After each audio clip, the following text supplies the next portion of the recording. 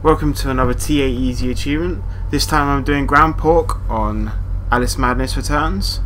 And as you progress through the story, you will meet this lovely lady who wants you to grab her some pig snouters. So after she finishes talking, uh, you just want to run up to this table, press X to pick up the pepper grinder, and there we go, pop, and there's your achievement. Thanks for watching, bye.